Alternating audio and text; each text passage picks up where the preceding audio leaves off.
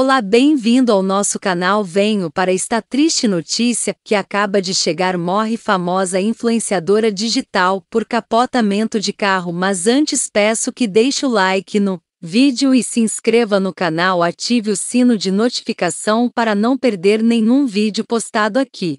Gente influenciadora gêmeas de apenas 26 anos sofrem grave acidente e uma delas infelizmente morre. A influenciadora digital e modelo Lara Cleaver Afonso, 26 anos, morreu em um capotamento na madrugada de ontem, na rodovia Armando Sales Oliveira, em São Paulo.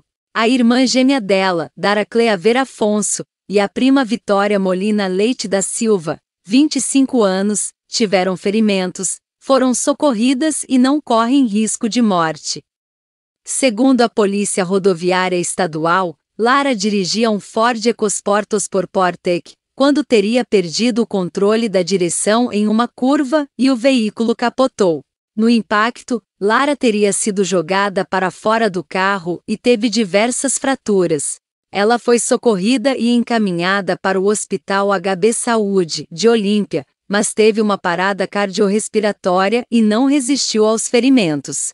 Dara estava no banco do passageiro e também teve ferimentos. A jovem foi socorrida e levada para o hospital de base, em São José do Rio Preto, onde passou por cirurgia. O estado de saúde dela é estável. Já Vitória, que estava no banco traseiro, teve apenas escoriações.